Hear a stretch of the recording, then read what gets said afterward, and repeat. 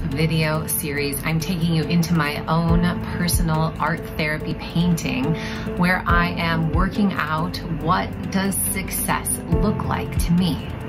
Here's a quick recap of the painting journey so far. First, I have to figure out what does success really look like to me. Success looks like me harnessing my power, able to contain it, store it, and not be overwhelmed by it. Then I translate that idea into a pose and into a sketch that can be put onto canvas. My intuition told me that this success painting should go on a canvas that my family did just for fun. Represent finding success with the background being my family and especially like us having fun together and us creating together. When I began to lay the image down onto the canvas, I found myself planning carefully and measuring, which I never do in my art. But this painting is about success being balanced with quality time with my family, and I don't want to lose too much of that fun painting underneath. If you're loving this art process, hit the like button for this video and subscribe to the channel real quick before I tell you what happened next. Up until now, my painting didn't have a head. I've been avoiding putting a face on the body because I'm unsure of the identity of this person that can harness her power, contain it, and not be overwhelmed by it. Always struggled with spreading myself too thin. I get overwhelmed by ideas and disperse my energy in a lot of different directions. But I couldn't avoid it any longer. I needed to get clear on the Michelle that had this type of success. My original sketch had the face looking down at the flame, but I ended up tilting it at an angle because it feels more nurturing, like she's actively engaged in tending to the flame. It even reminds me of a mother caring for her child. Once I had the whole figure painted in, it became clear to me that she was quite transparent.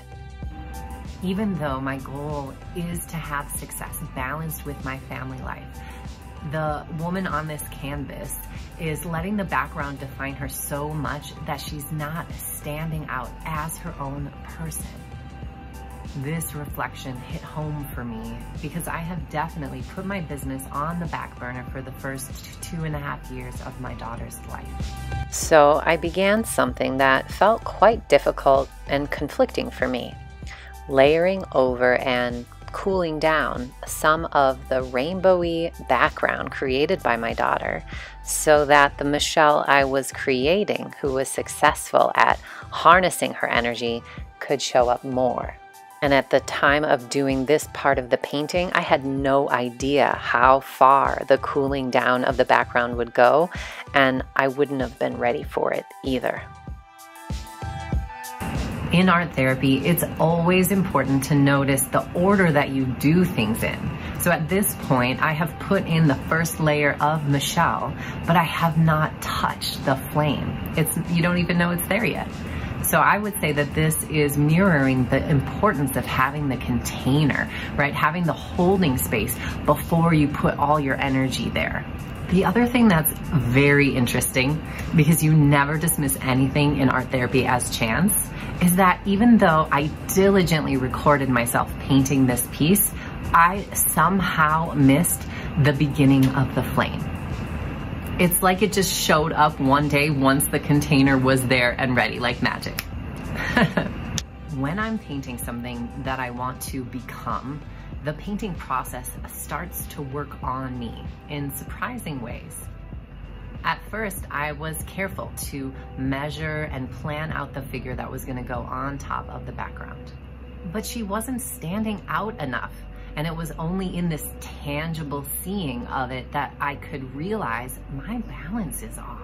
In real life, I was being so careful to honor my daughter and want her to show up that I myself had become quite transparent. And that see-through woman is never going to have the success that I'm craving and longing for. this painting is teaching me that to get success and to harness my energy in a powerful way, I need to shift the balance so that I can show up more.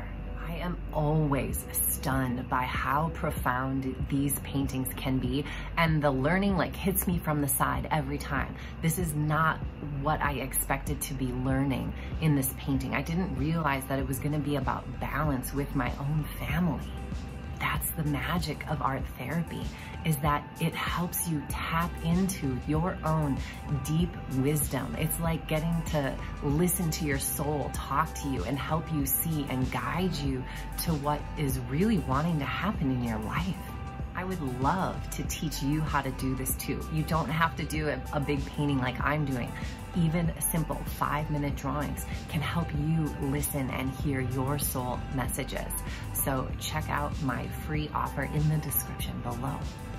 And if you haven't yet, subscribe to our channel so that you get an alert every week so you can follow me on this art journey.